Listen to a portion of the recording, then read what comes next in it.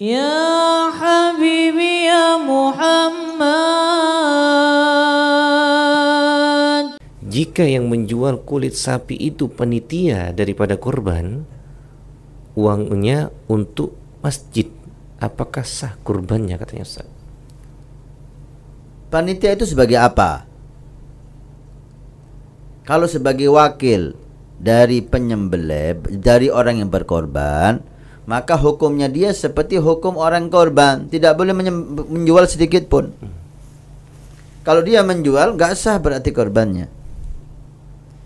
Tapi kalau panitia itu sebagai penerima korban, ada orang nyembelih diserahkan dagingnya setelah selesai disembelih kepada panitia masjid.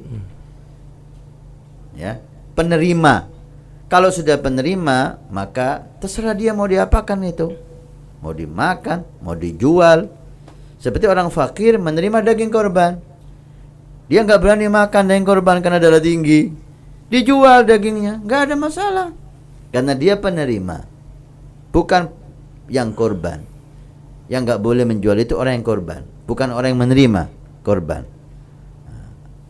Panitia masjid, panitia juga Ahbabul Mustafa sebagai wakil dari yang korban, maka tidak boleh menjual sedikit pun. Makanya panitia masjid minta ongkos bagi yang korban untuk nyembelih.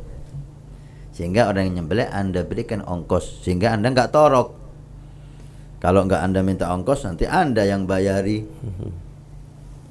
Atau kulitnya jadi pengganti untuk menju apa sebagai ongkosnya. Nah, panitia itu sebagai wakil. Kalau sudah sebagai wakil, hukumnya seperti orang berkorban tidak boleh menjual sedikit pun nalannya.